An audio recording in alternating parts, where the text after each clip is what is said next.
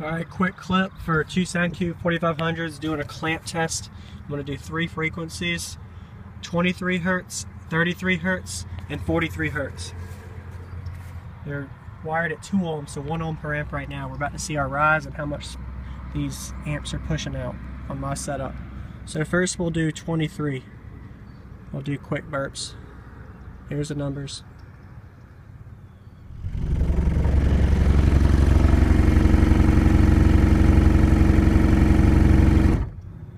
So there's 23. Now let's get the 33.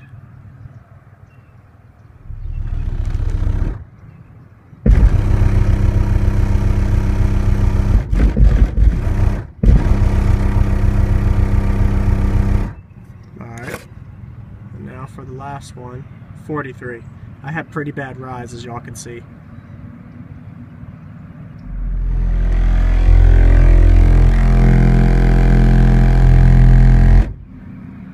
There's the three.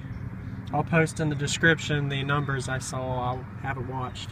But my rise is going from like 4 ohm for the lower notes up into 6 or 7 ohm, I think, just looking at that for the higher note in the 40s. So my rise is pretty bad.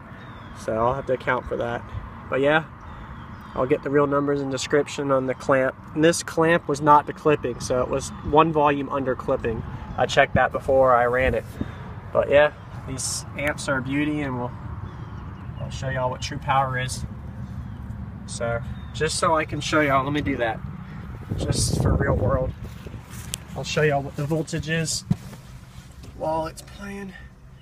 Let me go ahead and get it back up. Let's do 23 and then I'm gonna do a quick 33 and 43 so y'all can see real real voltage with that too.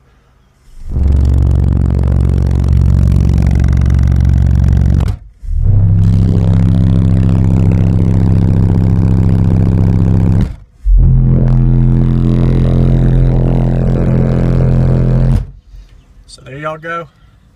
That's and it, I didn't see the clipping monitor on once, so that means I could have got a little more out of them.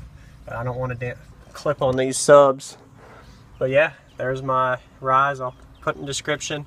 Be sure to subscribe, guys, please. I'll post so many videos. If y'all got suggestions for questions, let me know. I'll, I'll be feel free to answer anything. So mid 13s the voltage held on a burp.